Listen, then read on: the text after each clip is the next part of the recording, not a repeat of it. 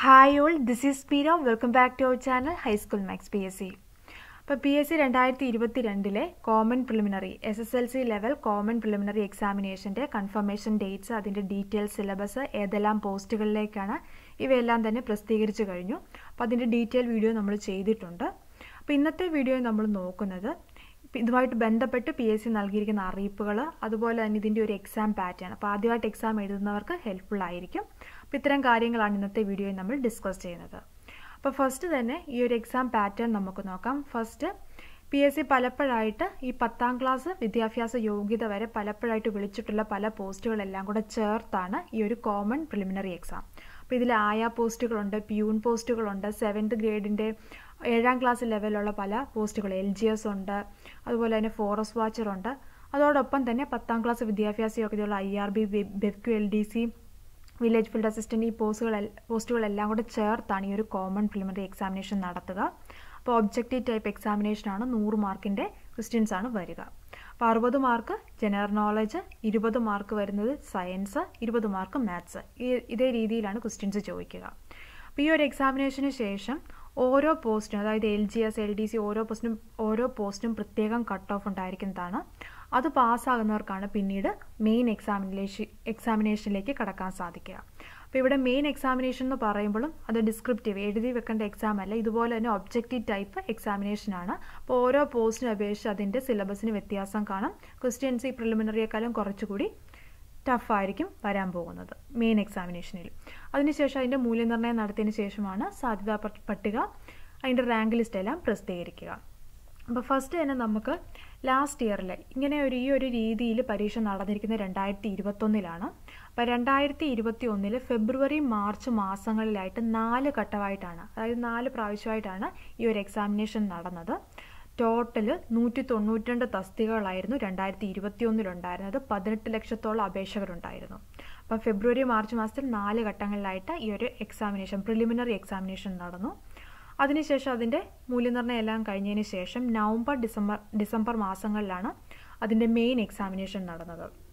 അപ്പോൾ ഇപ്പം ഇതിന്റെ മൂല്യനിർണയം കഴിഞ്ഞ് അതിനുശേഷം ഈ ഒരു പ്രധാന തസ്തികയായ എൽ ജി എസിന്റെയും എൽ ഡി ക്ലർക്കിന്റെയും സാധ്യതാ പട്ടിക ഈ മാർച്ച് മാസത്തിൽ തന്നെ പ്രസിദ്ധീകരിക്കുമെന്നാണ് പി എസ് സി അറിയിച്ചിരിക്കുന്നത്. അപ്പോൾ മാർച്ച് ആദ്യത്തോടു കൂടി തന്നെ നമുക്കത് പ്രസിദ്ധീകരിക്കാം. നമുക്ക് പ്രതീക്ഷിക്കാം. L D C L G എസിന്റെ സാധ്യതാ പട്ടിക. അതിനുശേഷം പ്രമാണരേഖകൾ പൂർത്തിയാക്കി ഏപ്രിൽ മെയ് മാസങ്ങളിൽ അതിന്റെ റാങ്ക് ലിസ്റ്റ് പ്രസിദ്ധീകരിക്കുന്നതായിരിക്കും. പിന്നീട് മറ്റ് തസ്തികളുടെ റാങ്ക് ലിസ്റ്റുകളും പ്രസിദ്ധീകരിക്കുന്നതാണെന്ന് പി എസ് സി അറിയിച്ചിട്ടുണ്ട്. അപ്പോൾ ഏകദേശം ഈ ഒരു പ്രാഥമിക പരീക്ഷ കഴിഞ്ഞ് ഒരു വർഷം കഴിയുമ്പോഴാണ് നമുക്ക് നെക്സ്റ്റ് രണ്ടായിരത്തി ഇരുപത്തിരണ്ടിലെ പത്താം തല പ്രാഥമിക പരീക്ഷയും പി എസ് സി നടത്തുന്നത്. ഓക്കെ അപ്പോൾ ഇപ്പോഴത്തെ കാര്യം നോക്കാം. അപ്പോൾ ഈ ഒരു പുതിയ രണ്ടായിരത്തി ഇരുപത്തി രണ്ടിലെ ഈ ഒരു കോമൺ പ്രിലിമിനറി ടെസ്റ്റിൽ വന്നിരിക്കുന്നത്. എഴുപത്തിയാറ് കാറ്റഗറികളിലായിട്ട് പി എസ് സി വിളിച്ചിട്ടുള്ള പല പോസ്റ്റുകൾ ചേർത്താണ് ഈ ഒരു പൊതു പ്രാഥമിക പരീക്ഷ നടത്തുന്നത്. ഈ എക്സാമിനേഷൻ നടക്കാൻ സാധ്യതയുള്ളത് രണ്ടായിരത്തി ഇരുപത്തിരണ്ട് മെയ് ജൂൺ മാസങ്ങളിലാണ്. ഇപ്പോൾ ഇപ്രാവശ്യം എന്താണ്? നാല് ഘട്ടമായിട്ടാണ് ഈ പ്രിലിമിനറി എക്സാമിനേഷൻ നടക്കുക. അപ്പോൾ സംസ്ഥാനത്തുടനീളം പരീക്ഷാ കേന്ദ്രങ്ങൾ ഉണ്ടായിരിക്കുന്നതാണ്. ഇതും പി എസ് സി അറിയിച്ചിട്ടുള്ള കാര്യങ്ങളാണ്. അപ്പം ടോട്ടൽ അൻപത്തി ഏഴ് തസ്തിക. കഴിഞ്ഞ പ്രാവശ്യം നൂറ്റി തൊണ്ണൂറ്റിരണ്ട് തസ്തിക ഇപ്രാവശ്യം അൻപത്തിയേഴ് തസ്തികയാണ്. അറുപത് ലക്ഷത്തോളം അപേക്ഷകരാണ് ഉള്ളത്. അപ്പോൾ എല്ലാവരും കൺസിസ്റ്റന്റ് ആയിട്ട് പഠനം മുന്നോട്ട് കൊണ്ടുപോകാനായിട്ട് ശ്രദ്ധിക്കുക. ഇനി അടുത്തതായിട്ട് നമ്മൾ പറഞ്ഞു അമ്പത്തേഴ് തസ്തികയുണ്ട്. അപ്പോൾ പ്രധാന ഈ ഒരു പ്രാഥമിക പരീക്ഷ നടത്തുന്ന തസ്തികകൾ നമുക്ക് നോക്കാം. കേരള അഗ്രോ ഇൻഡസ്ട്രീസ് കോർപ്പറേഷൻ ലിമിറ്റഡിൽ ജൂനിയർ അസിസ്റ്റന്റ് പോസ്റ്റ് റവന്യൂ വകുപ്പിലെ വില്ലേജ് ഫീൽഡ് അസിസ്റ്റന്റ് വനം വകുപ്പിലെ reserve watcher depot watcher Indian reserve ബറ്റാലി ബറ്റാലിയനിലേക്കുള്ള I R B police constable beverages കോർപ്പറേഷനിലെ എൽ ഡി ക്ലർക്ക് ജയിൽ വകുപ്പിലെ assistant prison officer female prison officer വിവിധ company board corporation last grade servant Kerala cooperative rubber marketing peon or attender. അപ്പം total അൻപത്തേഴ് തസ്തിക നമ്മൾ നേരത്തെ ചെയ്ത വീഡിയോയിൽ അതെല്ലാം തന്നെ വിശദമായിട്ട് പറയുന്നുണ്ട്. ഇനി നമ്മൾ നേരത്തെ പറഞ്ഞത് തന്നെയാണ്. ഇവിടെ നമുക്ക് കൺഫർമേഷൻ കൊടുക്കേണ്ട ടൈമാണ് ഫെബ്രുവരി ഇരുപത് മുതൽ മാർച്ച് പതിനൊന്ന് വരെ. അപ്പം നിങ്ങൾ ഓരോ തസ്തിക്കും നിങ്ങൾ അപേക്ഷിച്ചിട്ടുള്ള ഓരോ തസ്തിക്കും പ്രത്യേകം സ്ഥിരീകരണം നൽകാനായിട്ട് ശ്രദ്ധിക്കുക. സ്ഥിരീകരണം നൽകുമ്പോൾ നിങ്ങൾ നിങ്ങൾക്ക് വേണ്ട പരീക്ഷയുടെ ലാംഗ്വേജ് മലയാളമാണോ കന്നഡയാണോ തമിഴാണെന്നുള്ളത് നിങ്ങൾ വ്യക്തമായിട്ട് രേഖപ്പെടുത്തുക. പിന്നീട് അത് മാറ്റാൻ സാധിക്കുന്നതല്ല. അതുപോലെ തന്നെ നിങ്ങളുടെ കമ്മ്യൂണിക്കേഷൻ അഡ്രസ്സിൽ ആവശ്യമായ മാറ്റം വരുത്തിയാൽ അതുപ്രകാരമുള്ള ജില്ലയിൽ നിങ്ങൾക്ക് പരീക്ഷാ കേന്ദ്രം അനുവദിക്കുന്നതായിരിക്കും. അപ്പോൾ ഇത്തരം കാര്യങ്ങളാണ് നിങ്ങൾ ശ്രദ്ധിക്കേണ്ടത്.